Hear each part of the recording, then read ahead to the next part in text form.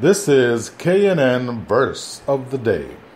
So that Christ may dwell in your hearts through faith, that you, being rooted and grounded in love, may have strength to comprehend with all the saints what is the breadth and length and height and depth, and to know the love of Christ that surpasses knowledge, that you may be filled with all the fullness of God.